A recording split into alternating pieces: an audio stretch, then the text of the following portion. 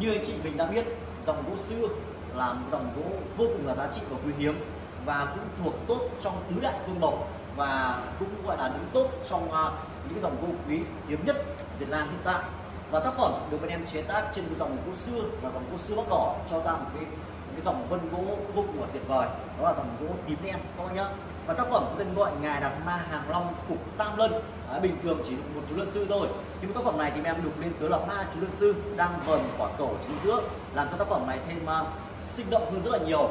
Và tổng chiều cao sau khi mà hoàn thiện thành phẩm xong tác phẩm vẫn còn cao lên tới là một m 13 chiều ngang 28 và chiều sâu là 24 em đang giao lưu tác phẩm này với một giá vô cùng êm ái để các bạn nhà mình có thể ưu duyên chỉ là 24 triệu đồng và bên em cũng đã bao gồm cước phí vận chuyển toàn quốc.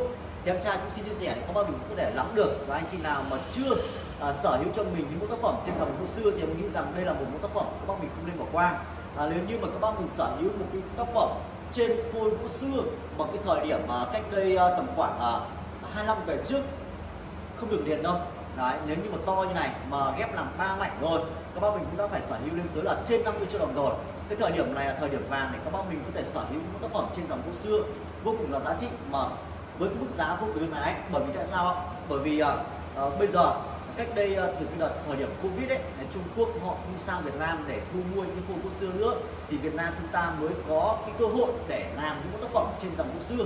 Thì uh, chính vì lẽ đó thì bây giờ gỗ xưa nó sẽ giá thành êm hơn rất là nhiều. Và tác phẩm này chỉ có 24 triệu đồng. Em nghĩ rằng anh chị nào mà đang đam mê đồ gỗ hoặc muốn sưu tầm một tác phẩm ngài đặt ma trên dòng gỗ xưa thì đây là một tác phẩm vô cùng tuyệt vời để các bác mình có thể lựa nhá. Và kính mời các bác mình cùng đi sâu hơn ở một tác phẩm này để nhìn ngắm cho em. Đó là chất vân, chất gỗ và cũng như là từng cái đường nét đục tỉa mà người thợ, người nghệ nhân của em thổi hồn vào một tác phẩm trung tâm chính giữa đó là hình ảnh của ngài đạt ma đang với dáng thế đi ra hóa và thần thái của ngài đạt ma đây. Thì các bác mình cùng nhìn ngắm cho em. Đầu tiên đó là cặp lông mày thì bên em đục tỉa tơi từng sợi. Đó, và xuống phía dưới đó là bộ râu của ngài là bên em đục tỉa theo lối là lối xoắn ốc. Và để mà làm ra được cái bộ râu xoắn như thế này thì cần có một cái cổ tay thật là mềm dẻo để đi những cái đường đường đường lông rất là kỹ càng không nhá. Phần râu đấy ạ và trên cổ của ngài thì đang đeo đó là một chuỗi vòng chẳng hạt từng viên vòng chẳng hạt thì bên em chặt tỉa tròn đều và còn đục nổi kinh hết ra đây. Rất đẹp. Đấy, ánh mắt nhìn về xa xăm, nhìn là thần thái của ngài vô cùng có hồn. Kèm thêm đó là ngài với cái vóc dáng gầy gò, cho nên khi mà ngài vác khoác trên thân mình, đó là một tà áo, thì tà áo rất là rộng. Đấy, bay phiêu theo làn gió đây. Nhìn là cái phần à, vạt áo phía dưới đây. Đấy, bay thổi lên nhìn rất là phiêu.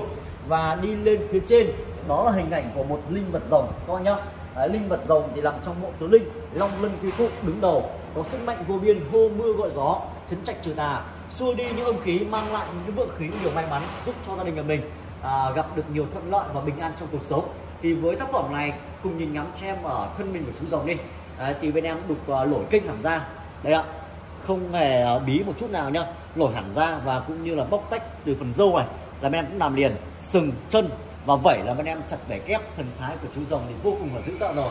Và đi kèm với tác phẩm này, đó là hình ảnh của ma chú lân sư, hay còn gọi là nghê phong thủy nữa ấy nghê thì cũng nằm trong tứ đại linh vật rồi và cũng như là trong à, bộ tứ linh, và cũng chấn trạch trừ tà rất là tốt. Đây, đang vần quả cầu chính giữa, và ngài đạt ma thì đang cầm một cái sợi dây để thuần chú nghê lại, nhìn rất là đẹp các bạn nhá. Nghê thần thái này, hai chú nghê nhỏ phía dưới nước.